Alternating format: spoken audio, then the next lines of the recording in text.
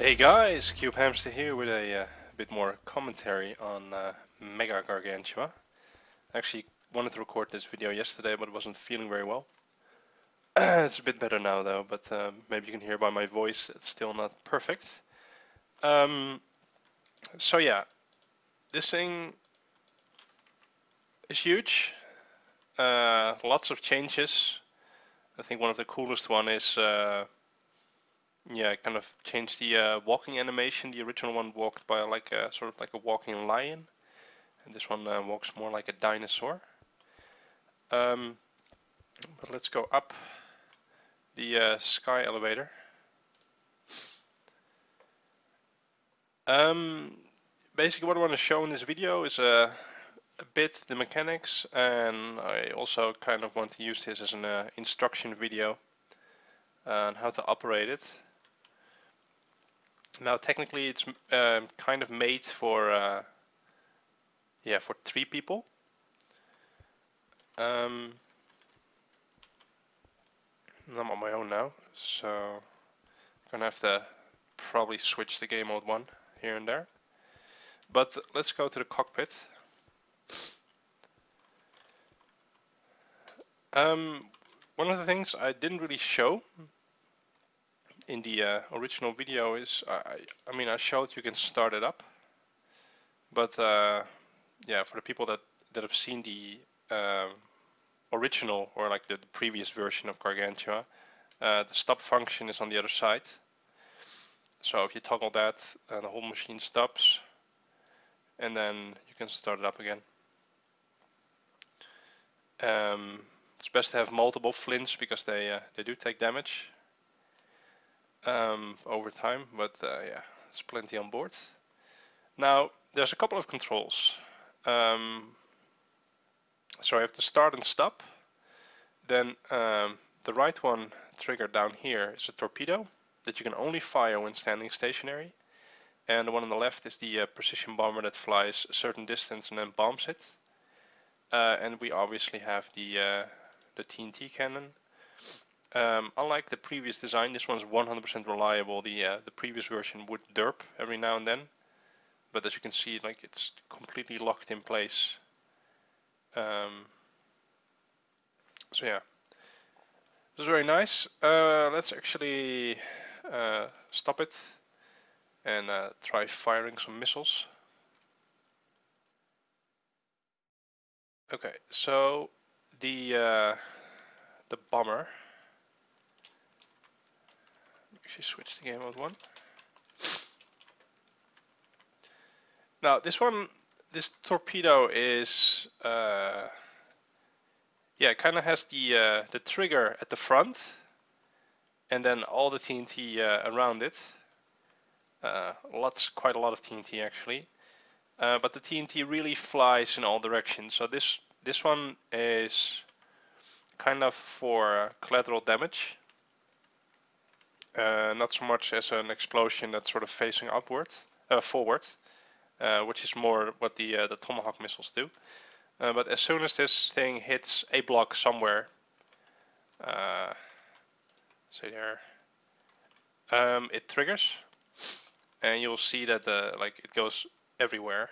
So, um, I mean, hitting hitting Gargantua with one of these would destroy it pretty much.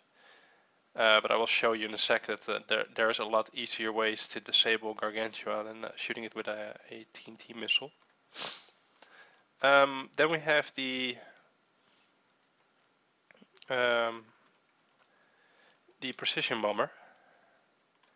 So let's actually fire that one.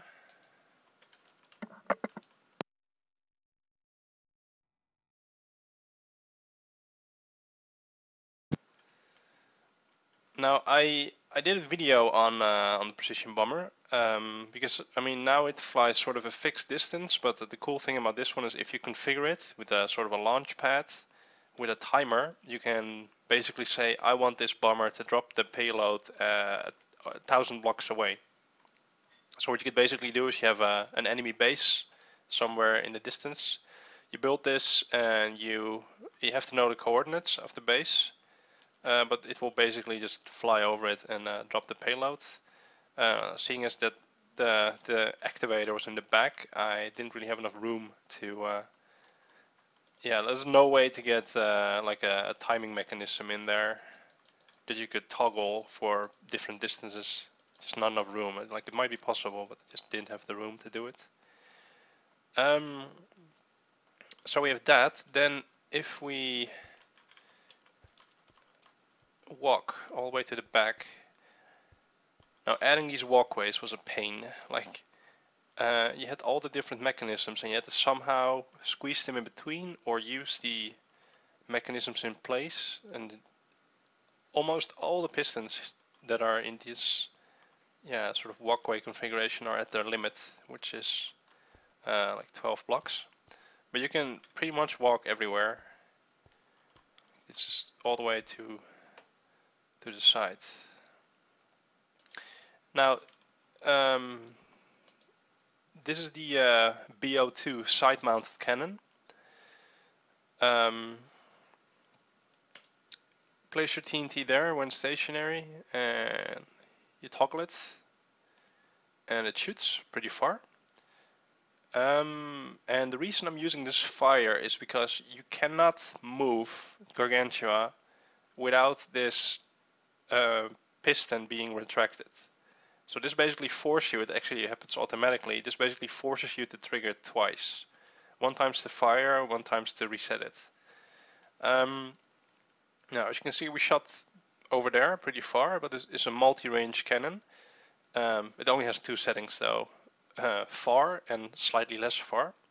It's still pretty cool though. Um, what you can do is you can trigger this piston and it basically stops the uh, slime platform here from going up. So if I trigger it now, you can see this one stays down and the other one still extends. But because the uh, TNT, when activated, jumps a little bit, the top bit of the TNT will get hit by the slime uh, block here and it will still get launched. So let's actually see that, if I can look at there fast enough. There we go. So it jumps up a little and then shoots. Now, you have to be really careful, but you can actually trigger it while it's walking. And, um, mean, oh, I'm still game one. So let's actually try and do that.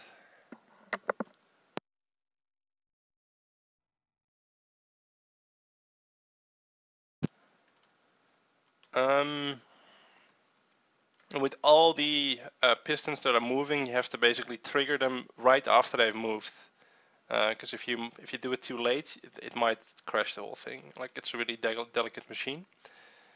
Um, okay, so, but yeah, we can pretty much leave a, a trail of destruction using uh, using this. Uh, not shooting very far now. Um, but yeah, let's try triggering it. So that's fine. Like you have some time. It's not like it, it's you have to do it instantly, but there we go. Uh, so now we're shooting far. And again, like imagine just a line of TNT holes going to the right. If you constantly fire them, you, you basically end up with a, a giant line of holes. Um, now that's not the only thing you can do on the left side. Uh, I, I, figured, like I, when I was building this, I was okay. So we're gonna have side gunners, but just having a TNT cannon to the side is gonna be very boring. So I, uh, yeah, I decided okay, so should add something uh, a bit more interesting to the left side. Uh, so there's more triggers to fire, and um, yeah, I made the Tomahawk missile launcher. And I already had the uh, torpedo launcher at that point underneath.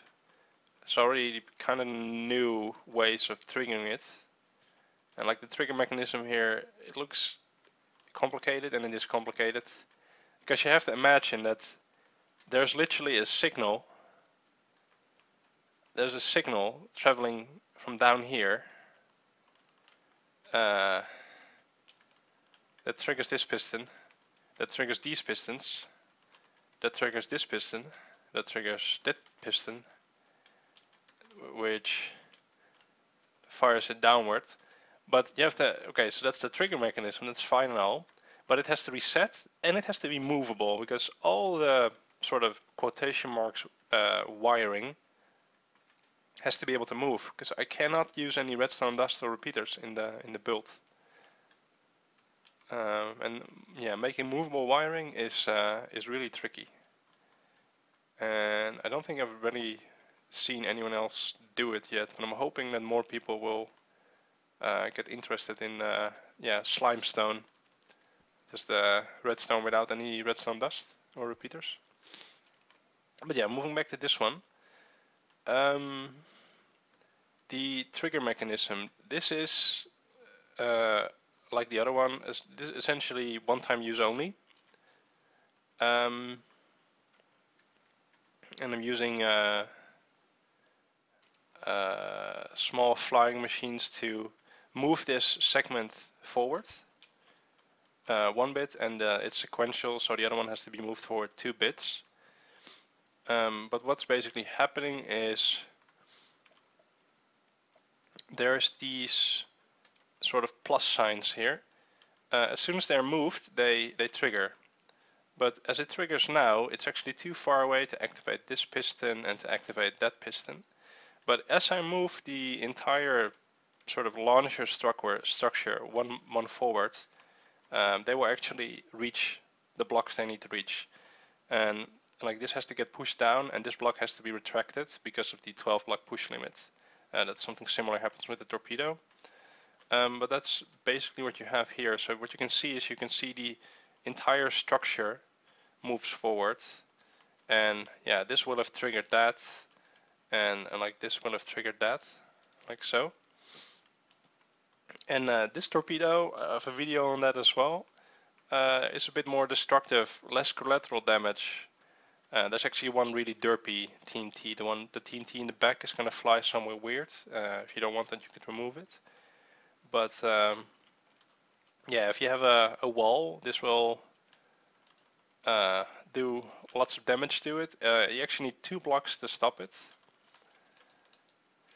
But yeah, as soon as this triggers, seeing as the TNT is a big bit backward, the uh, the TNT at the front will uh, if it's near the wall, really cause a lot of damage there. And that's the uh, the TNT I mentioned. That's actually a bit dangerous because if you fire it too close to Gargantua, there is a chance that it will uh, yeah, damage it. And if Gargantua takes only the slightest amount of damage, uh, it will basically go to a halt at some point. Um, so let's fire the other one as well. I'm just just gonna let this one fly off into the distance. Um, but yeah, seeing as the uh, mechanics are the way they are, uh, like I figured I might have been able to um, um, sort of make a reload station. That was my initial thought, but then I looked closer to what I had and uh, um, like reloading the missiles is not really an option. Um, well, technically, I think I could reload the the bottom miss missile, but uh, not not the one uh, above, unfortunately. Because if I start moving, the uh, the missile launcher will uh, stay behind one block and then start moving again.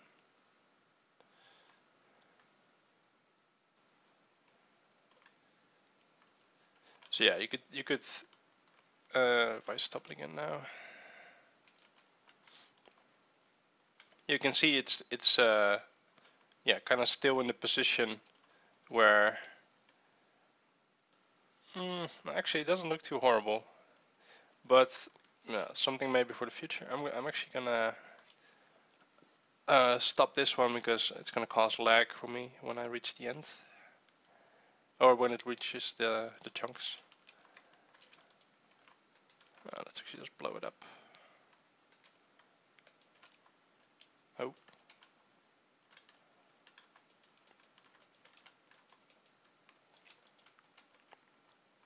Good enough. Okay, so that's the uh, the left side. Now I wanted the right gunner to also not be boring. Uh, because I mean the B02 cannon is uh, is awesome. It's it's actually the uh, the front cannon you can only fire when it's moving. Like you, you can't fire it when stationary.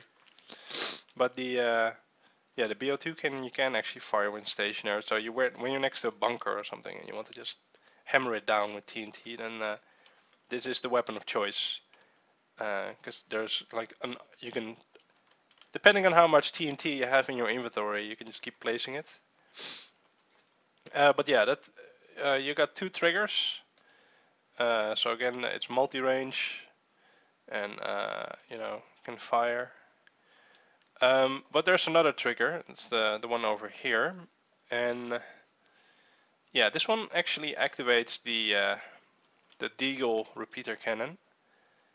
Um, it has six shots, and as for wiring, I, it, it turns out that sending a signal forward is actually a lot more difficult than sending a signal backwards in a construction. Um, uh, especially a signal that you can reuse because the, the, if you want to only use it once the missile launcher that was, that was very easy. Um, but making a signal travel forward that uh, is uh, usable more than uh, you know two, two times pretty much uh, it's very difficult. Um, another thing that was difficult was how how to actually have a clip with uh, over six six shots and yeah, I will show you the mechanics in a bit, but I I really really like uh, the way that uh, the signal is transferred forward, especially when it's moving. Um, you have the it has six shots, but if you want to fire the entire clip and you want to reset it, you have to uh, activate it uh, six, uh, eight eight times in total and you can do it fairly fast. So it's six. And as you can see, there's actually sand falling down now. It's uh, kind of like a shell, I guess. Uh, that was necessary. That was not for aesthetics. That is fully functional falling sand. Um, and that's eight. 8 to reset it because again like the TNT cannon as long as this piston or these pistons are extended and you start moving the whole the whole thing crashes down. Uh, and you end up with uh, quite a deep crater. So if uh, are missing on the ground and you want to make a hole to uh, charge charge the enemy uh, you can do that there's still one TNT there, and the TNT that's here is basically just for the, the next clip already. Uh, so you, you can't fire that. It has seven, use six, and then you add six more, you have seven again, you fire six, etc. Um, so yeah, let's actually start moving again.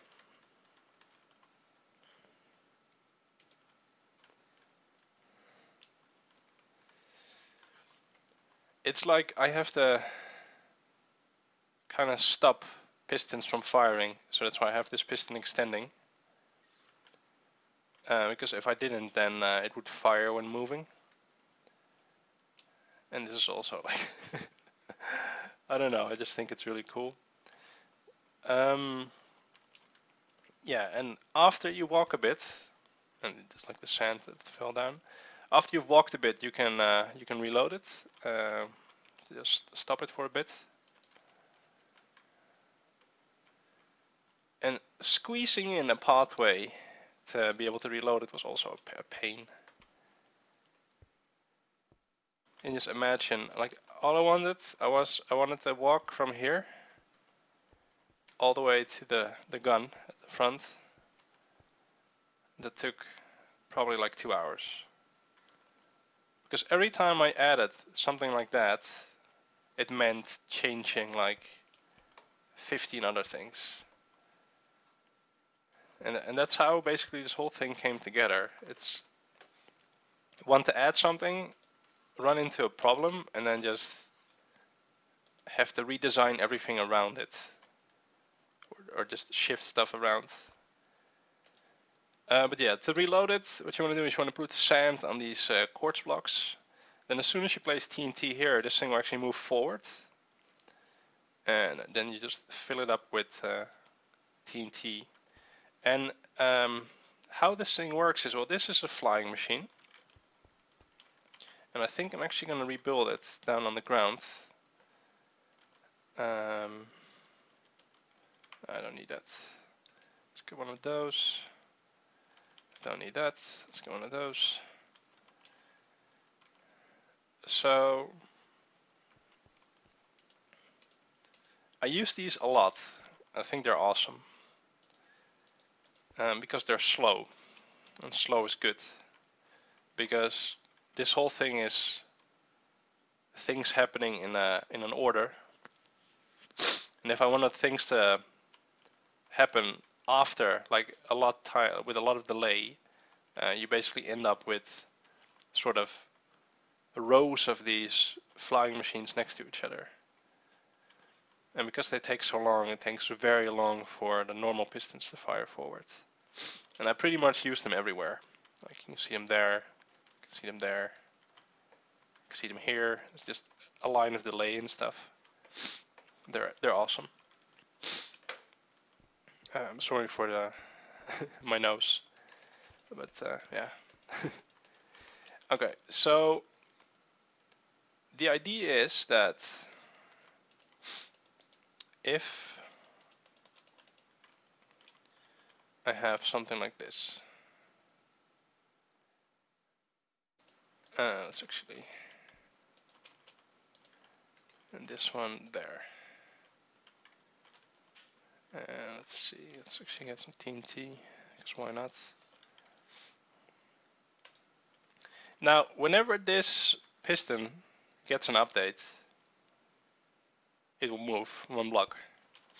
But if I move this slime block row of slime block forward, that's exactly what happens. It gets updated. Now, if I,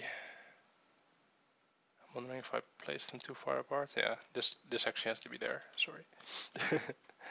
um, now, if I do it again,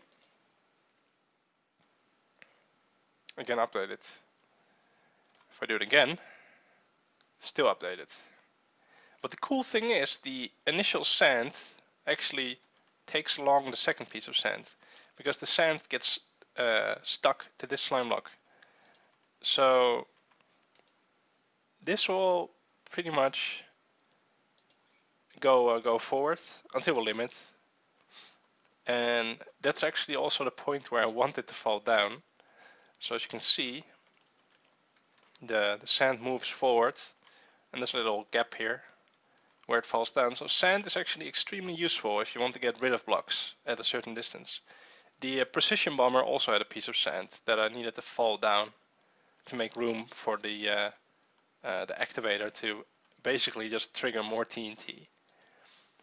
Um, but that is the, uh, the principle of that. so yeah, um, the uh, download is in the yeah in the description of the video, schematic as well. Um, yeah, you can uh, just paste them in. They're not directional sensitive, and if you want to do battle with them, uh, it's paste multiple in the world and and fire. Uh, but what I did actually want to show is, uh, you guys will find this silly, but like if you want to disable Gargantua, it's fairly simple. Uh, like it can handle two high blocks, but if I just anywhere in the pathway, roughly, place a block, there is a fairly good chance, depending on, uh, yeah, kind of the uh, uh, the 12 block push limit that it will break. Pistons can only push 12 blocks. So as soon as they they have more than 12 blocks, like for instance here, you see it jams, um, it just stops. And the whole machine work uh, will basically just implode slowly. Those are graphical glitches, by the way. You have to ignore those. But yeah, Congratulations, you used one sand block to disable Gargantua. I mean, the guns still work though, probably for the most part. Um, but uh, yeah, it can, can, no longer move. And it is at this point also not feasible to fix it. Like, it's better to just load a new game if you want to use it after it, it has crashed like this. Um, because there's so many slime blocks that are now stuck to each other that shouldn't be stuck to each other. You can see pistons being extended here. Um, so it's a very, very delicate machine. And um, I get people asking, yeah, yeah, you should totally add armor and stuff, but adding armor to this is completely, utterly useless. If you can just stop it by, with one sandstone block. Like, you don't even have to blow it up. But to me, that's not the point of this build. I built a fucking robot with TNT cannons. And it's more of an, uh, yeah, proof of concept as to actually people using this infection warfare to blow to blow other people up. Like this is so delicate. It's just no. It's more like a Swiss watch in a way. Uh, but it's cool. So, and I might actually uh, incorporate this in maybe a map in the future where you have to use this to do a perform a mission or something. But uh, that, that's something for the future. Anyways guys uh, thanks for watching. Like uh, like I already said download link is in the description fully functional. And uh, yeah I hope you guys enjoy. Bye bye